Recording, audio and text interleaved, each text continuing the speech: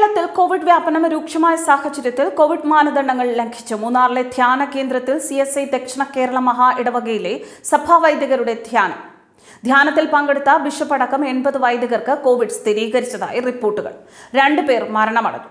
വൈദികൻ reverend Bijumon reverend Shine B Raj എന്നിവരാണ് മരിച്ച രണ്ടുപേർ. C S I bishop Dharmaraj Rasalam വീട്ടിൽ നിരീക്ഷണത്തിൽ തുടരുകയാണ്. ധ്യാനത്തിൽ വിവിധ പള്ളികളിൽ നിന്നായി മുന്നൂറ്റി അൻപത് പുരോഹിതർ പങ്കെടുത്തിരുന്നു. രോഗബാധിതരായ പുരോഹിതരിൽ പലരും കാരക്കോണത്തെ C S I medical college ആശുപത്രിയിൽ ചികിത്സയിലാണ്. മറ്റു ചിലർ വീടുകളിലും ചികിത്സയിൽ തുടരുന്നുണ്ട്. റിപ്പോർട്ടിലേക്ക്. മൂന്നാറിലെ ധ്യാന കേന്ദ്രത്തിൽ കോവിഡ് മാനദണ്ഡം ലംഘിച്ച് നടന്ന ധ്യാനത്തിൽ പങ്കെടുത്ത നൂറിലധികം സി എസ് ഐ പുരോഹിതന്മാർക്കാണ് കോവിഡ് ബാധിച്ചത്. ധ്യാനത്തിൽ പങ്കെടുത്ത ബിഷപ്പ് അടക്കം എൺപത് വൈദികർക്ക് കോവിഡ് സ്ഥിരീകരിച്ചു. രണ്ടുപേർ മരണമടഞ്ഞു. സഭാ നേതൃത്വത്തിനെതിരെ നടപടി ആവശ്യപ്പെട്ട് വിശ്വാസികൾ ചീഫ് സെക്രട്ടറിക്ക് പരാതിയും നൽകി. വിവാദം അനാവശ്യമാണെന്നും പ്രോട്ടോകോൾ പാലിച്ചായിരുന്നു ധ്യാനമെന്നും സി സഭ അറിയിച്ചു. വൈദികൻ റവറന്റ് ബിജു മോൻ റവറന്റ് ഷൈൻ ബി രാജ് എന്നിവരാണ് മരിച്ചത്. രണ്ട് വൈദികർ വൈറസ് ബാധയെ തുടർന്നാണ് മരണമടഞ്ഞത്. C S I bishop Dharmaraj Rasalam വീട്ടിൽ നിരീക്ഷണത്തിൽ തന്നെ തുടരുകയാണ്. ധ്യാനത്തിൽ വിവിധ പള്ളികളിൽ നിന്നായി മുന്നൂറ്റി അൻപത് പുരോഹിതർ പങ്കെടുത്തു. രോഗബാധിതരായ പുരോഹിതരിൽ പലരും കാരക്കുണത്തെ C S I medical college ആശുപത്രിയിൽ ചികിത്സയിലാണ്. മറ്റു ചിലർ വീടുകളിലും ചികിത്സയിൽ തുടരുന്നുണ്ട്. കോവിഡ് രണ്ടാം തരംഗത്തിന്റെ ഭാഗമായി മധ്യ കേരള ധ്യാനം മാറ്റിവെച്ചിരുന്നു. പക്ഷേ ദക്ഷിണ കേരള ധ്യാനം അധികൃതർ രഹസ്യമായി നടത്തുകയായിരുന്നു.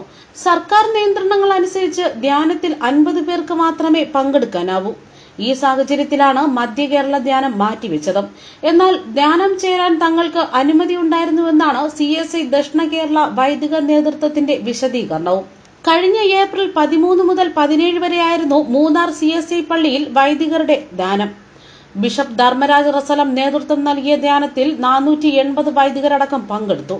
തിരുവനന്തപുരത്ത് നിന്ന് പ്രത്യേക ബസ്സുകളിലാണ് വൈദികരെ മൂന്നാറിൽ എത്തിച്ചത്. ധ്യാനത്തിനിടെ വൈദികർക്ക് ശാരീരിക അസ്വസ്ഥതകൾ അനുഭവപ്പെട്ടെങ്കിലും കാലാവസ്ഥ വ്യതിയാന നിമിത്തമാണെന്ന് കരുതി. തുടർന്ന് നാട്ടിലെത്തിയിട്ടും അസ്വസ്ഥതകൾ വിട്ടുമാറാതിരുന്നപ്പോൾ നടത്തിയ പരിശോധനയിലാണ് കോവിഡ് സ്ഥിരീകരിച്ചത്. വരുന്ന മാസം നടക്കാനിരിക്കുന്ന തെരഞ്ഞെടുപ്പ് ലക്ഷ്യമിട്ട് നേതൃത്വത്തെ അപകീർത്തിപ്പെടുത്താനുള്ള സി എസ് ഐ വിരുദ്ധ ലോബികളുടെ ശ്രമമാണ് കുപ്രചാരണങ്ങളെന്നാണ് അധികൃതർ പറയുന്നത്. കഴിഞ്ഞ മാസം നടന്ന ധ്യാനമായതിനാൽ നടപടി സ്വീകരിക്കാനാവില്ലെന്ന് തിരുവനന്തപുരം ഡിഎംഒ വ്യക്തമാക്കി.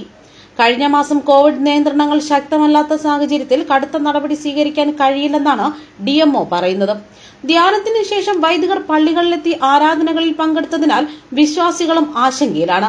മുന്നൂറ്റി ഇരുപത്തിരണ്ട് വൈദികരുടെ ധ്യാനം രണ്ട് സംഘങ്ങളായിട്ടാണ് നടത്തിയതെന്നും ഇരുപത്തിനാല് വൈദികർക്ക് മാത്രമാണ് കോവിഡ് ബാധിച്ചതെന്നുമാണ് സി എസ് ഐ സഭ വിശദീകരിക്കുന്നത്.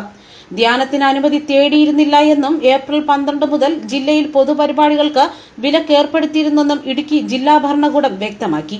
പരമാവധി പരിപാടികൾ ഓൺലൈനായി നടത്തണമെന്ന ഉത്തരവ് നിലനിൽക്കുന്നതിനിടയിലായിരുന്നു ധ്യാനം കൂടിയത്. മറ്റൊരു കോവിഡ് മാനദണ്ഡം ലംഘിച്ചത് കോട്ടയം മെഡിക്കൽ കോളേജിലെ വിദ്യാർത്ഥികളായിരുന്നു.